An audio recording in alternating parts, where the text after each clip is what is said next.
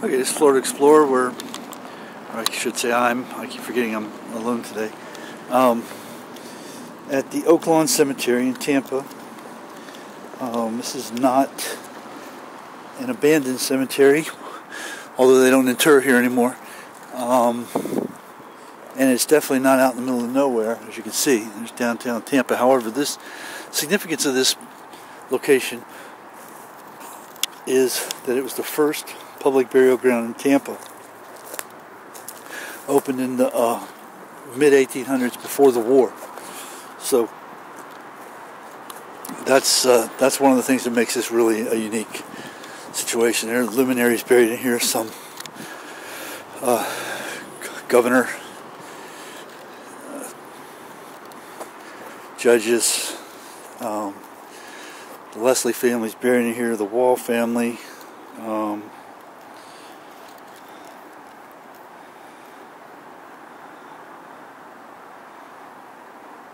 And there's also uh, a section where people who were lynched and um, you know, people who were, were at that time considered to be uh, people who were not necessarily worthy of note, noteworthy. Um, well, I'm sure they valued their lives very highly. They were not honored when they passed with burials or big markers and that sort of thing. Um, so for the most part, um, this is an area where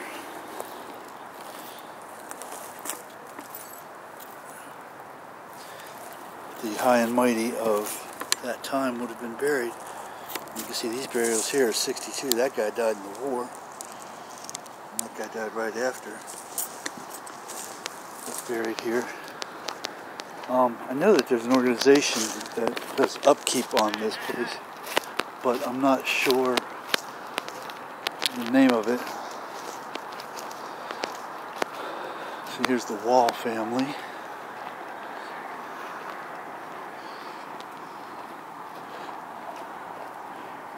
William Wall,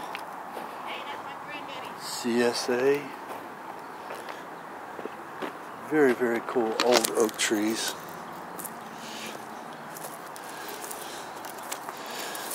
So,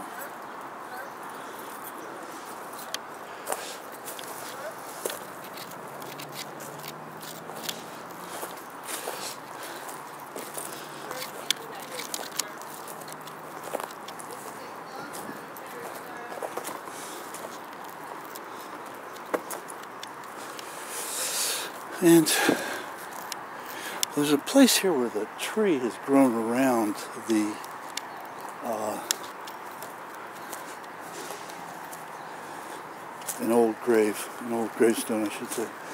Um, I saw it the last time I was out here. I forget now where, where it is. I think it's over this way somewhere. But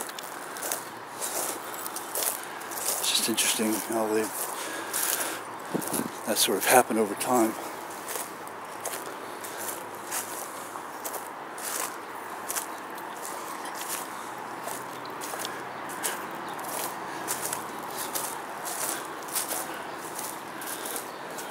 Here it is. That's neat.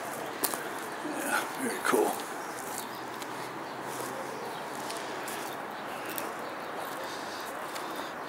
There's a vet. And there's uh, the stone, basically lost to history by the fact that um, the tree is growing around it.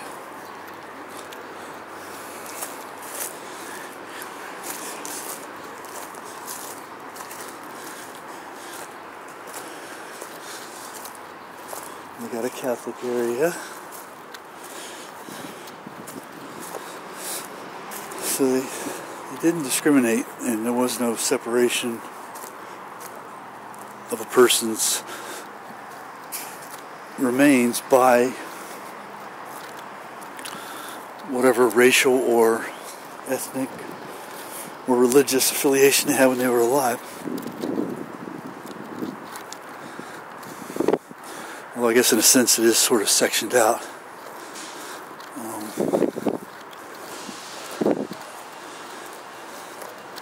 and this is some of the newer area up in here. These burials go back to 1920, 1930.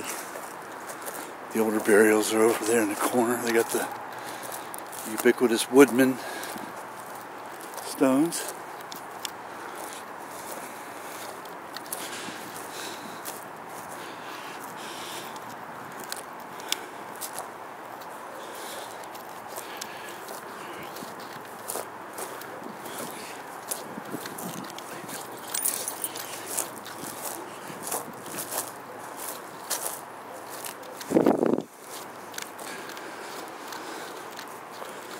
An area over here, and I don't recall exactly where it is, but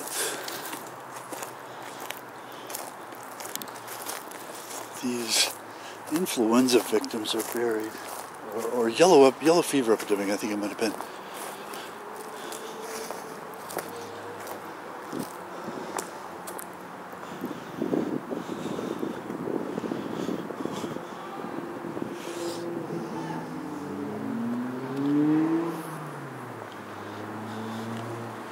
Might be back up this way somewhere.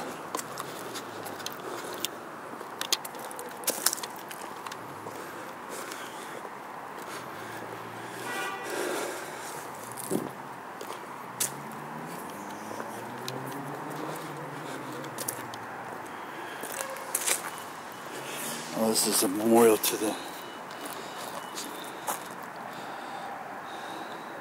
soldiers and sailors interred here.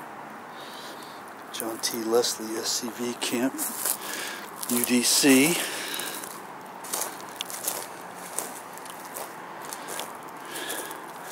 Here's a memorial dedicated to sea captains and mariners.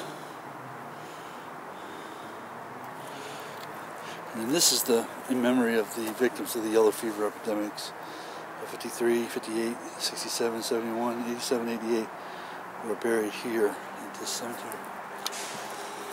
So, this gives you kind of an overview. It's actually a very beautiful spot.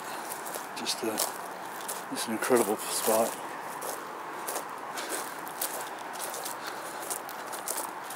The oak trees and and that sort of thing.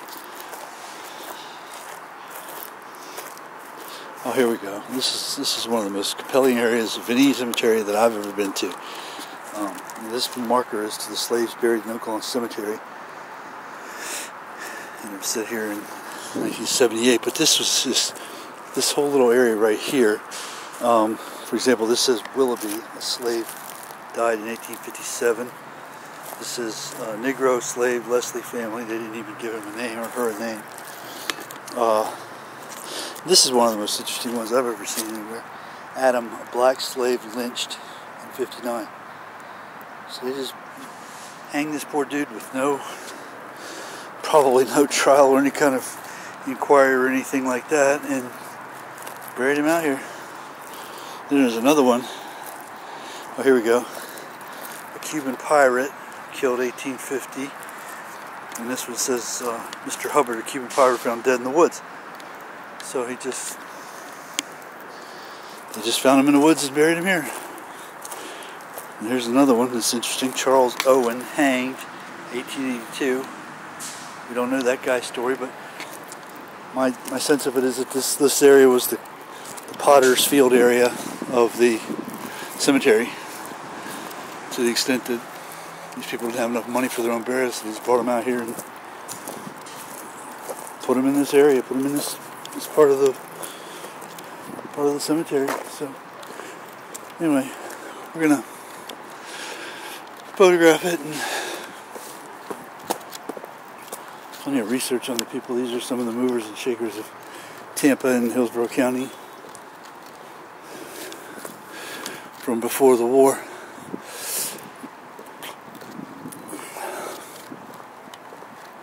And a lot of vets again, a lot of vets buried here as well. So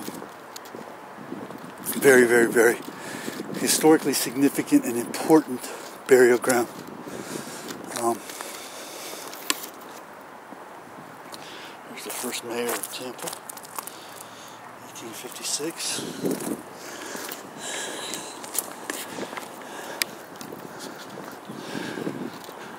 Alright, so we're out, or I should say I'm out.